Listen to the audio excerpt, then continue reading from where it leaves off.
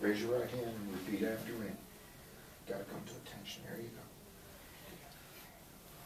I state your full name, I, Brandon Ross Smith, I, Joey Lopez, do solemnly swear do solemnly swear that I will support and defend that I will support and defend and defend the Constitution of the United States the Constitution of the United States and the state of New Mexico and the state of New Mexico against all enemies, foreign and domestic, against all enemies, foreign and domestic, that I will bear tr- true faith and allegiance to the same, that I will bear true faith and allegiance to the same, and that I will obey the orders of the President of the United States and that I will obey the orders of the President of the United States and the Governor of New Mexico, and the Governor of New Mexico, according to regulations according to regulations and the Uniform Code of Military Justice. and the Uniform Code of Military Justice. So help me God. So help me God.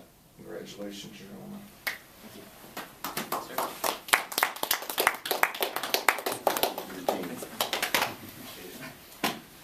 Come here.